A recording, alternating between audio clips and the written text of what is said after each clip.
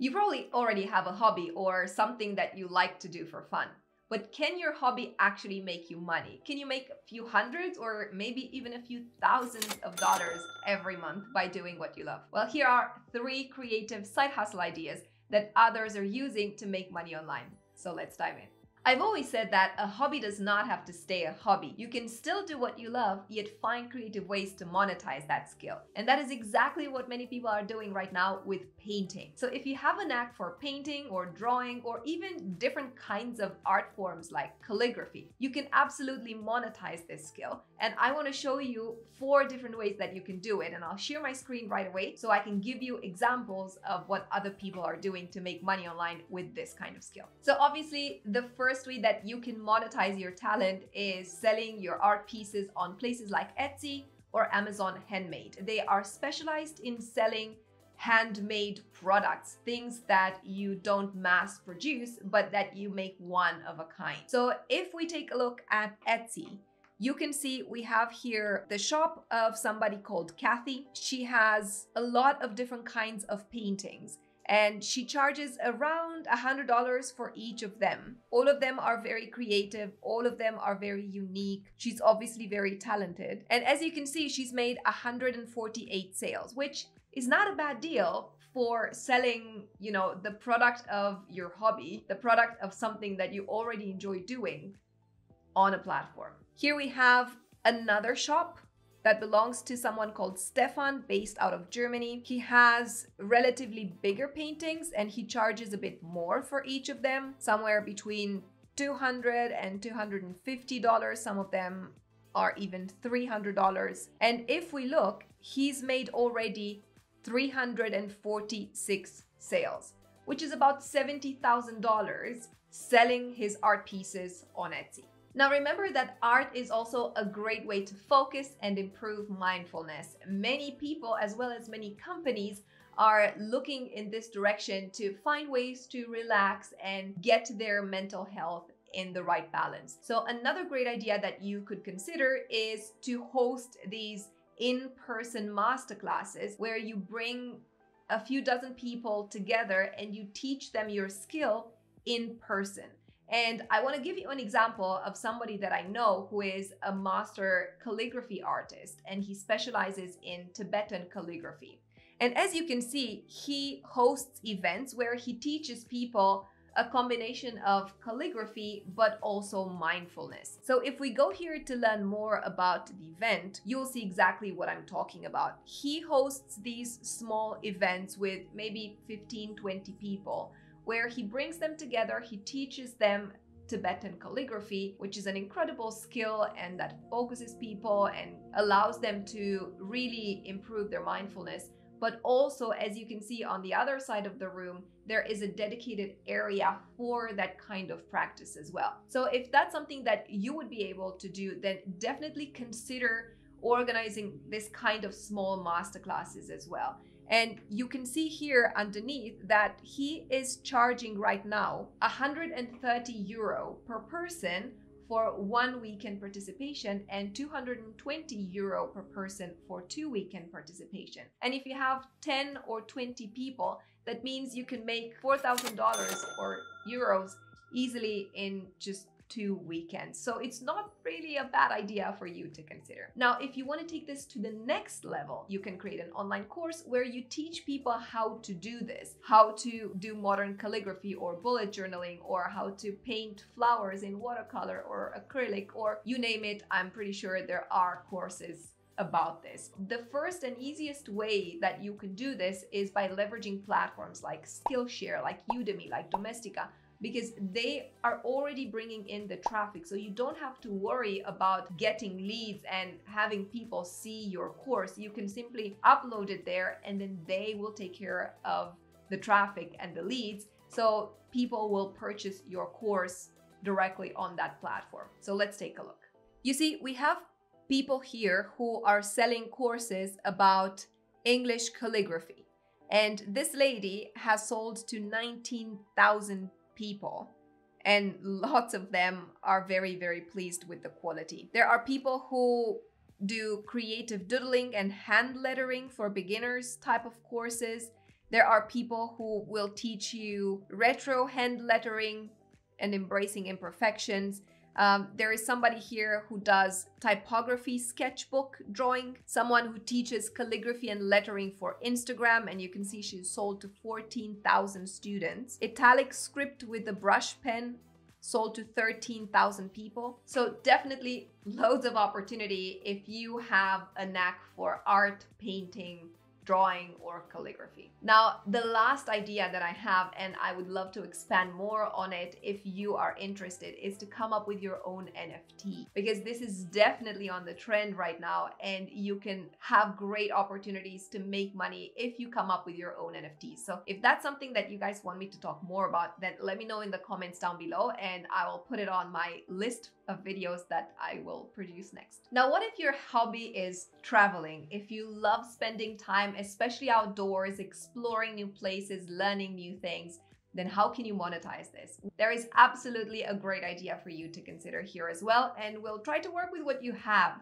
so to speak. And this is because obviously for the last two years, people have been confined indoors and there have been so many restrictions that now everybody's trying to spend as much time outside in nature, close to national parks, close to beautiful areas and sceneries that they can take all in. There are studies that are showing that rural travel is gaining loads and loads of traction, loads of momentum. In many cases, it is now double compared to the level that it was just a couple of years ago. In the US alone, it used to represent only 10% of people who were traveling being interested in rural travel, and now it's reaching 21%. But in places like Canada, like Slovenia, like Australia or France, it's getting to 40% of all people who are looking to travel being interested in rural traveling. So now you're wondering, how can I make money with that? Well, if you already have an RV, or if you're able to rent or buy one secondhand,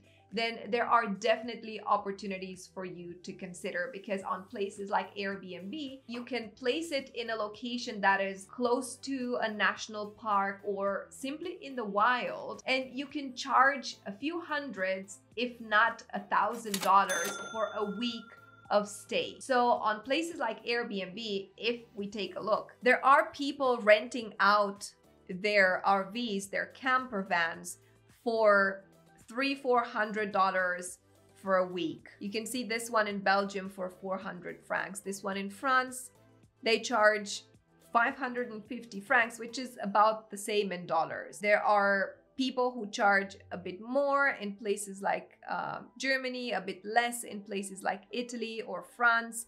But as you can see, a few hundred dollars every single week just for hosting people in an RV that you either already have if you love traveling or that you can buy for under $5,000. Now, the alternative to that, if you're not willing to spend 5K on an RV, is to buy a tent. You can buy a tent, a yurt, even luxury ones on AliExpress. They cost $300. You get them set up in similar areas that are beautiful, that are in the middle of nature, that are in the countryside ideally, or close to mountains or a lake, and you can charge sometimes even more than what you can for an RV. Let's take a look. Okay, so just to give you a few examples, we have this tent here that is currently being rented for a thousand dollars almost in a place in France.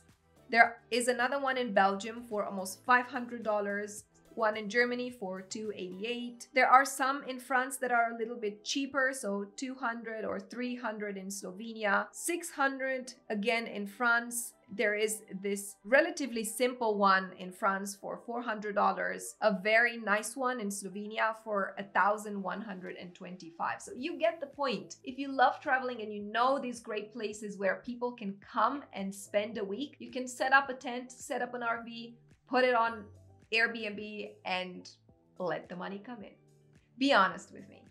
Do you spend loads of time in the kitchen coming up with your own recipes or trying out something new? I'm pretty sure you're well loved among your family and friends. That is undoubted. But have you ever thought that you can actually make money with your talent? Now, obviously, a very straightforward way to do that is to sell the yumminess that you produce in the kitchen to your local community. You can go to the farmer's market, you can have a partnership with an existing bakery if you like to bake, or with a restaurant. There are other ways that you can monetize this skill. Number one is you can create a TikTok or a YouTube channel. And I know maybe that's not very intuitive, but there are nowadays tons of channels, both on TikTok and YouTube. Sometimes they have hundreds of thousands, sometimes millions of followers. And what they do is they share their talent and their passion for baking or cooking with the world. They simply take people through the recipe step by step and they show